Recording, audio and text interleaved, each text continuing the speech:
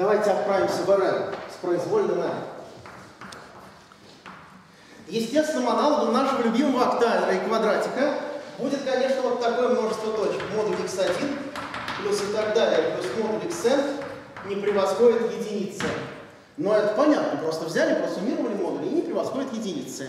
Значит, это имеет свое название. Иногда это называют n-мерный октаэдр, хотя это не очень корректно, конечно.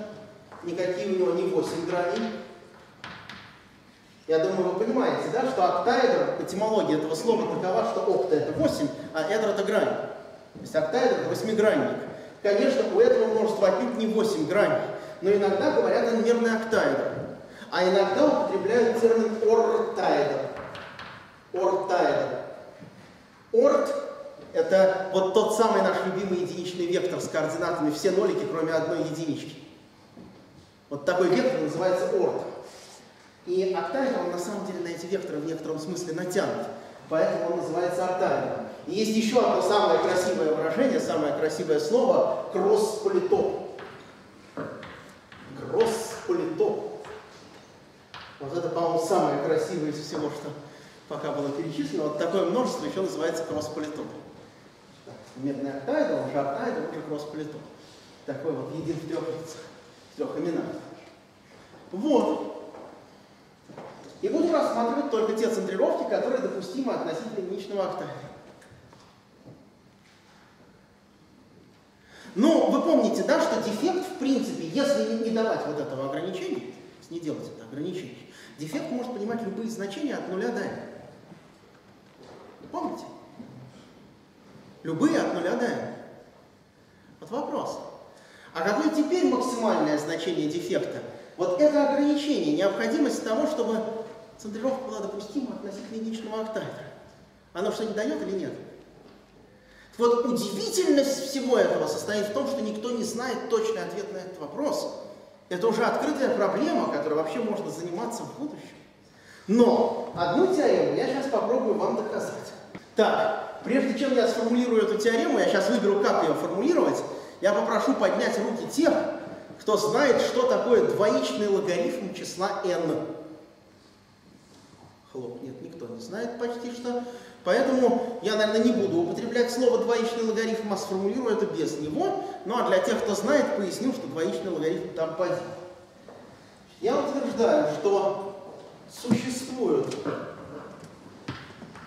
существуют центрировки, существуют центрировки решетки ZN, центрировки решетки ZN, которые допустимы относительно единичного октаэдра, которые допустимы, допустимы относительно единичного вот этого октаэдра, ну, единичного, потому что вот здесь единичка, единичного октаэдра, единичного октаэдра, допустимы относительно единичного октаэдра, и у которых дефект, и у которых дефект не меньше, чем n минус m, где m таково, что 2 в степени m минус m минус 1 больше либо равняется, нет, меньше либо равняется, меньше либо равняется n минус m. О! О! Так, существуют центрировки решетки, которые допустимы относительно октаэдра, и у которых эффект достаточно большой. Он не меньше, чем n минус m, где m это такое число, что выполнено вот это неравенство. Минус m и минус m зачем? А, хер. Потому что так доказательство устроено. Действительно не надо. Э, вообще все замечательно. Но это за тем, что я глупый. Написал, потому что я помню, в голове сидит доказательство. Я так и написал, я ж минус.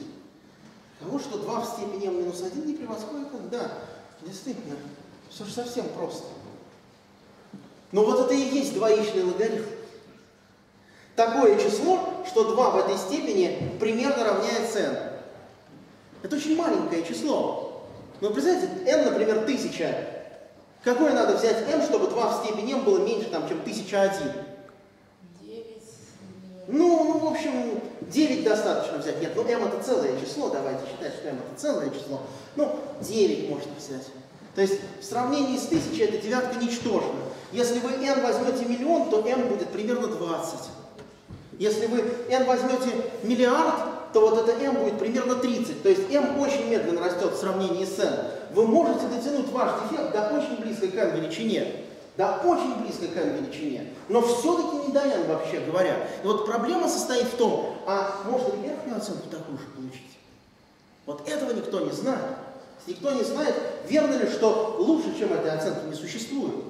Что у любой центрировки, которая допустима относительно единичного октаэдра, дефект, например, не превосходит также такой величины. Вот этого никто не знает. Существуют центрировки с большим дефектом, с очень большим, что 2 в степени m примерно равняется n. Давайте добавим к zn не один вектор, а много, но очень своеобразно.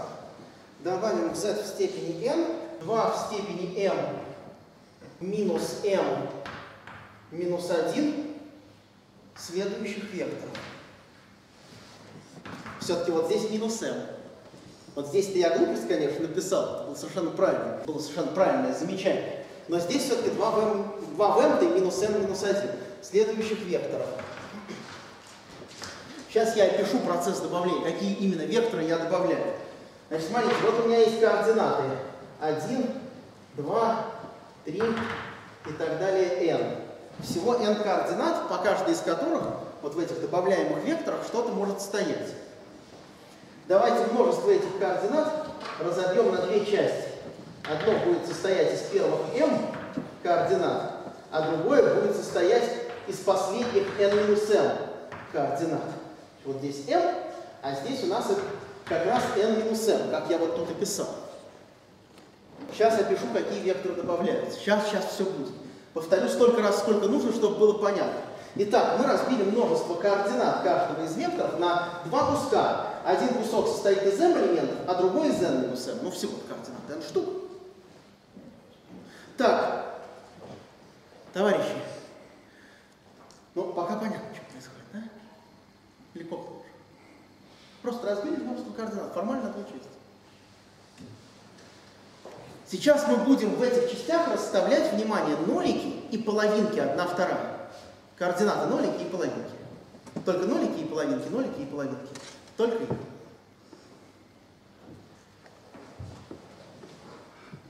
Вот смотрите, сколько существует, сколько существует векторов с координатами 0 и 1 вторая на вот этих вот первых m позициях, на первых m позициях. Сколько вообще всего существует различных векторов с координатами 0 и 1 вторая вот на этих m позициях? Вопрос к вам. Два в m. Два в m ты, правда?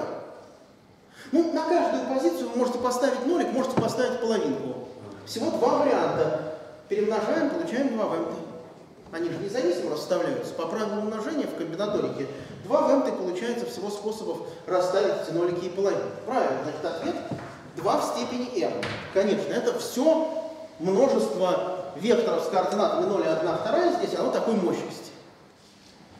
А давайте вот из этих векторов, которые мы сейчас посчитали, вот из этих 2 в степени m векторов, которые мы сейчас посчитали, выкинем те, у которых вообще нет, нету половинок, то есть выкинем тот вектор, у которого здесь сплошные нули. Он один. Не будем считать тот, у которого все нули. Я думаю, вы догадываетесь, какой еще. И еще те, у которых ровно одна половинка. Вот давайте выкинем вот из этого множества, выкинем вектор со всеми нулями, со всеми нулями. И все векторы,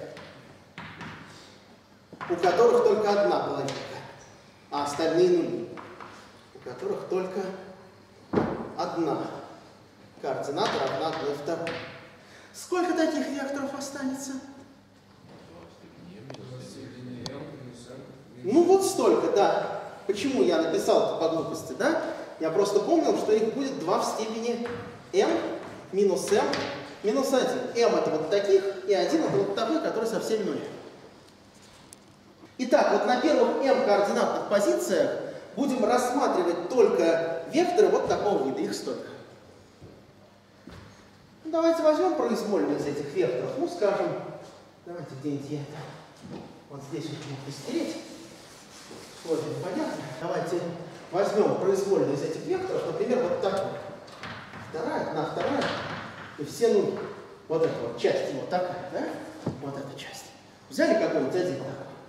А справа, вот в этот блок, добавим к нему на первую позицию, то есть на m плюс первую позицию добавим половинку, а дальше все нули.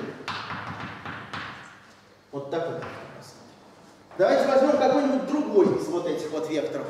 Любой. Ну, например, вот так. 0, 1, 2, 1, 2, дальше нули.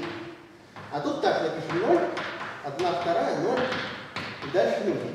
То есть взяли другой вектор из вот этого числа, а справа пририсовали к нему вот эту половинку со сдвигом на единичку вправо по отношению к первому вектору.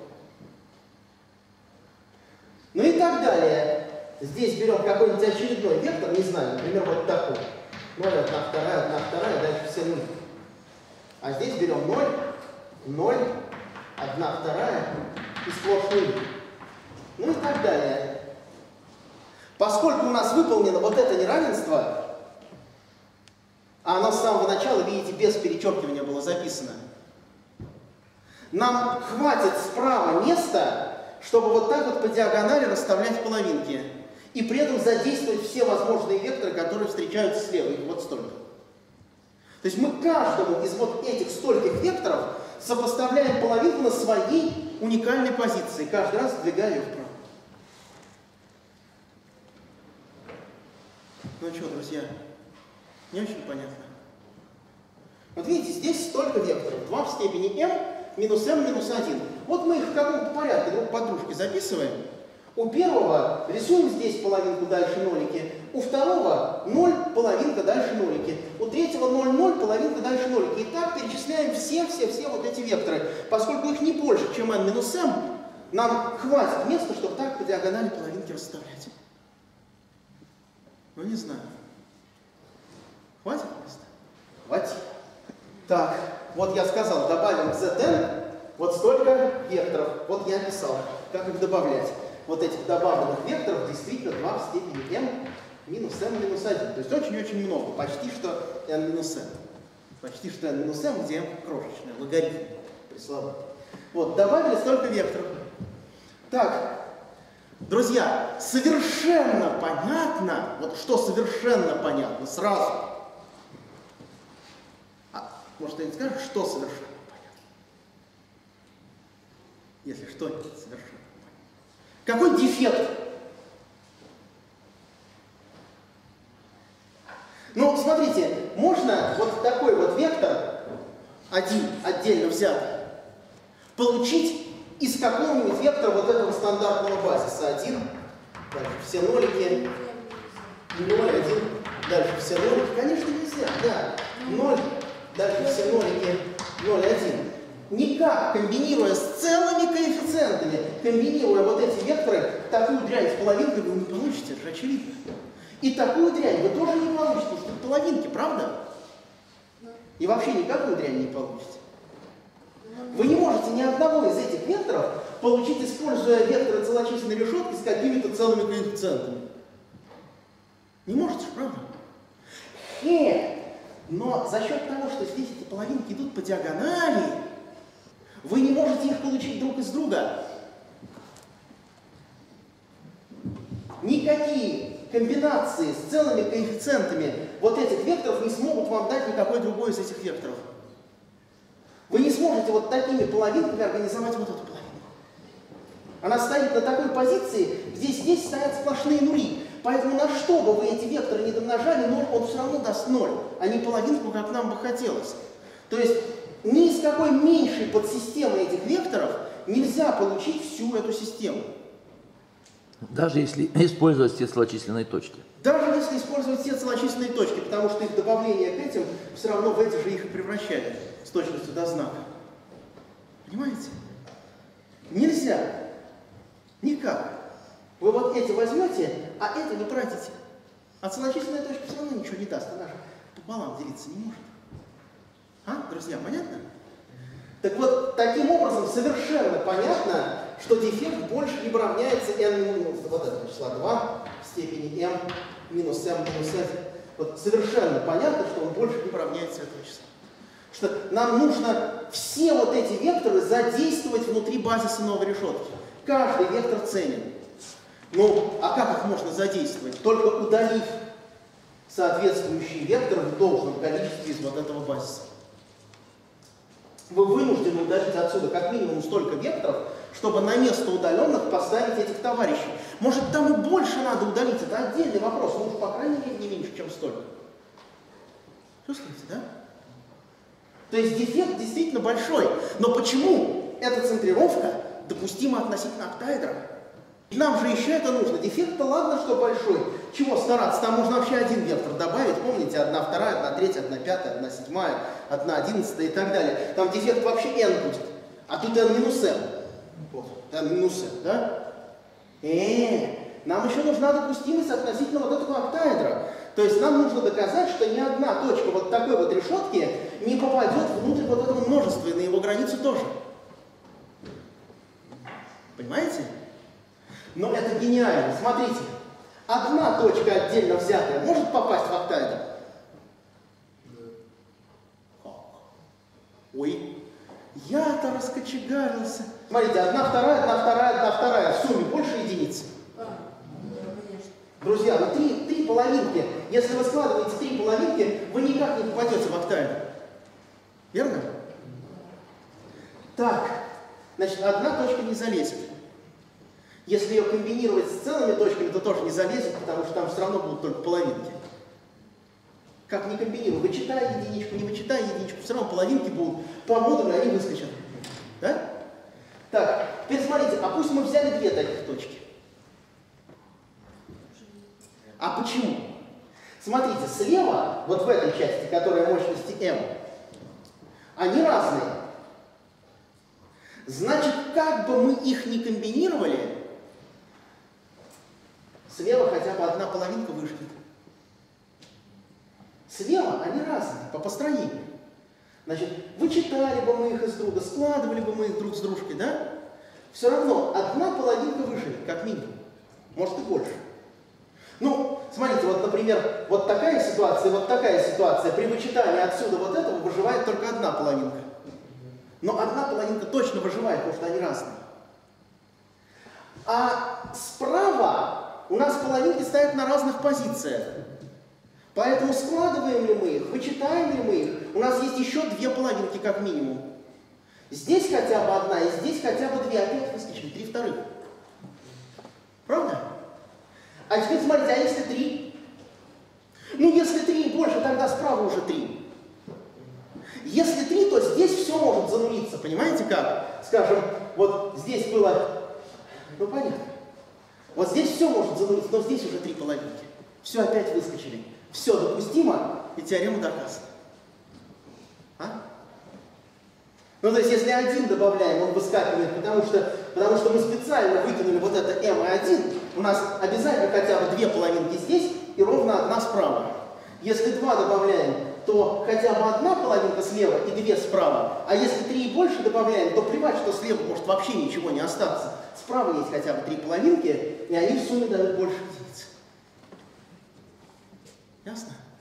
По-моему, очень красивое рассуждение. Это не я придумал, это придумал в свое время профессор Мехмата, сотрудник Стеклов, такой замечательный Сергей Владимирович Конягин. Я все-таки хочу, наверное, на этой вот очень пафосной ноте прерваться, а в следующий раз я расскажу, как это связано с системами представителей. Вот просто вот будет вообще фантастика. То есть это некая комбинаторика так называемых систем представителей. Она чу чудесным образом связана с вот этими дефектами. Это я расскажу. Но там надо примеры привести разные, чтобы вас убедить в том, что так получится, а потом уже доказывать что-то. Ну, а на сегодня я предлагаю на этом закруглиться.